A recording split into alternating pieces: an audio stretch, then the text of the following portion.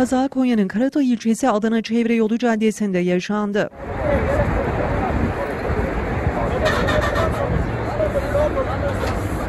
İstikamet Caddesi'nde seyir halinde olan Mehmet Coşkun idaresindeki otomobil Adana Çevre Yolu istikametinden Yeni İstanbul Caddesi'ne doğru gitmekte olan Şükrü Türkmen yönetimindeki otomobille çarpıştı.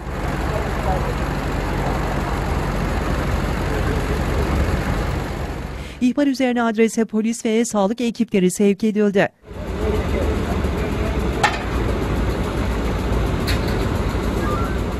Kazada her iki otomobil sürücüsüyle birlikte Mehmet Çoşkun idaresindeki araçta yolcu olarak bulunan Yusuf El Osman ve isminin Erdoğan olduğu öğrenilen bir kişi de yaralandı.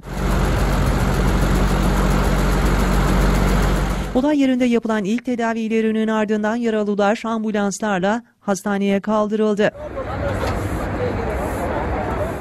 Kazayla ilgili soruşturma başlatıldı.